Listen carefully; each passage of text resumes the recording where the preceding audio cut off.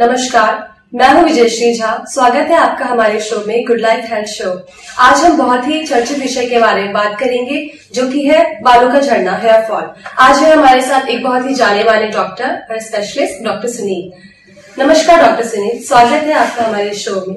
आज हम जानते हैं कि आजकल हेयर फॉल बहुत ही ऐसा विषय बन गया है, जो कि बच्चों से लेकर बूढ़ों तक बहुत ही आम बात हो गई है।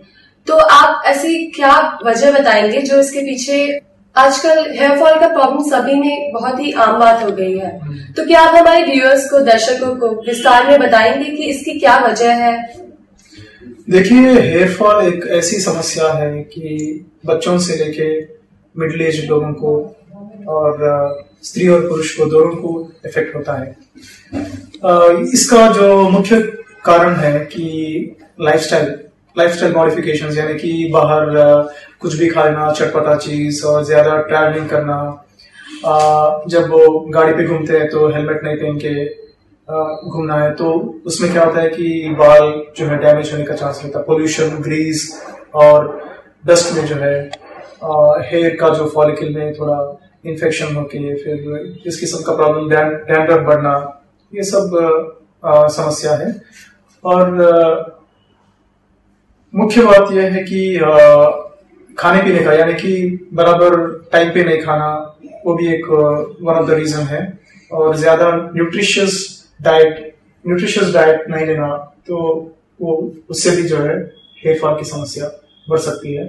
हर एक को आ, मतलब एवरी डे आपको फ्रूट्स लेना चाहिए और वेजिटेबल्स लेना चाहिए और यू शुड ड्रिंक मिनिमम तीन से साढ़े तीन लीटर तक पानी आपको लेना चाहिए। और स्ट्रेसफुल कंडीशन ऑफ़ लाइफ है तो उसको स्ट्रेस निकालना चाहिए आपको।